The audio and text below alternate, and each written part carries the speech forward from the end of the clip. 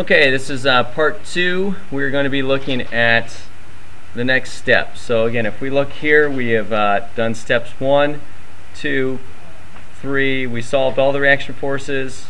We now have a C minus. Great. We're on now step five, method of joints, and uh, we're ready to do method of joints. So let's look at our first step in method of joints. We want to first create a free body diagram of each joint. Uh, the easiest way to do that is to erase all of your members right in the middle and then add arrowheads to those lines. So drew a little diagram if here of what's going on, but I'm going to do it right up above so you can see it. I'm going to erase the middles of all of my members.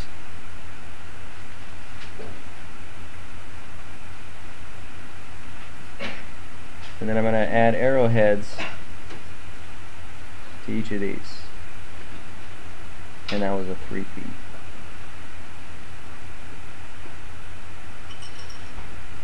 Next step is I want to label uh, the members. So wherever I broke those, I want to call them, you know, A, B, B, C, whatever they are, etc. So let's put those in. So this one right here is going to be called AB. This one is BC, and this one is AC. And right now we're assuming all these are in tension. Again, uh, just as a little side note, um, if I am looking at member BC, and I put BC in tension. So I'm pulling this way. These are the forces that BC is experiencing. And this is the joint here and the joint down here. According to Newton's third law, if we're pulling out on BC here, what is it doing to joint B? The member is pulling down in this direction. Same thing over here at uh, joint C, the member is going to pull up and in. So these forces are Newton's third law action reaction forces where I solve for this force this is the exact same force in the opposite direction here. So these are equal and opposite forces. So this force BC is the same as the force here, BC. Let's look at our next step. Pick a joint with the most knowns and the least number of unknowns.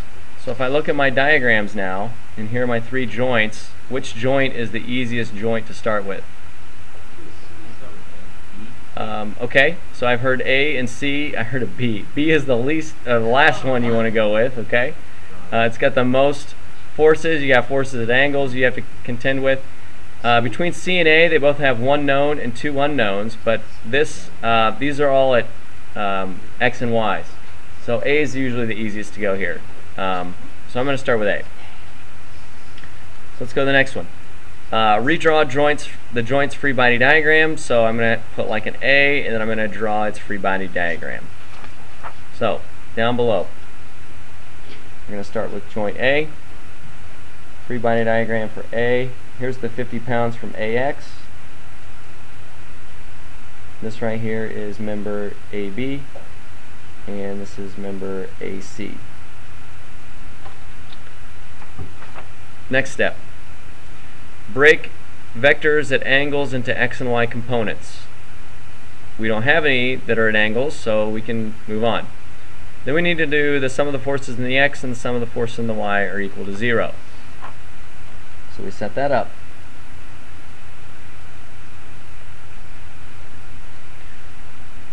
Now, you can do this in two ways. I'm going to do it this way and then show you a different way to do it. What forces are in the x direction? 50 pounds, it's positive, good. So 50 pounds, which is positive, and AC, which is positive. So then AC equals a negative 50 pounds. So that negative tells us that my original assumption of AC being in tension is incorrect. So AC is actually in compression. So if we look here, uh, we're solving for the unknowns if we get a negative sign, we're going to change our free body diagram. Um, it's opposite from what we had. So if I had tension, it's now compression.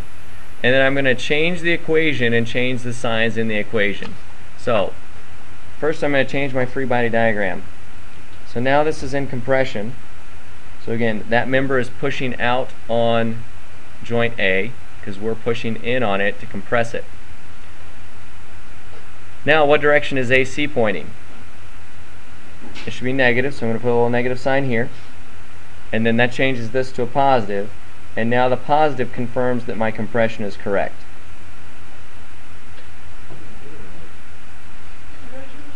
Okay. Here's what I would have done at the beginning. I would have looked at the beginning and said, okay, it's impossible to have two forces pointing in the same direction. So AC has to be flipped. I would have flipped it at the very beginning, made a little note that this is going to be in compression, and then solve this and not worried about my having to switch my signs in my diagram.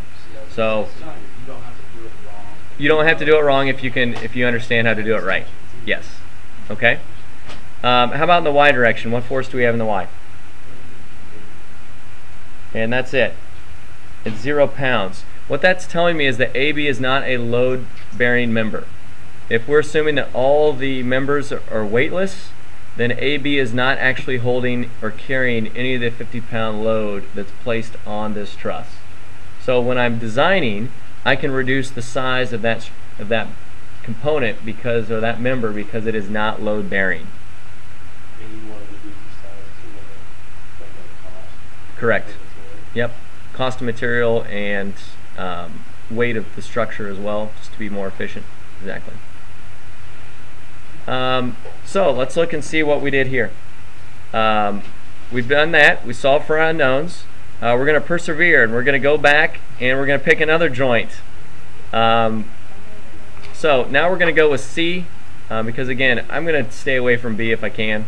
Um, I'm going to go to C now. So I'm going to redraw C. So again right next to it. Oh, one thing we didn't do. We changed this free body diagram to compression we've got to change our overall one up here. So that's going to affect us if we don't do that.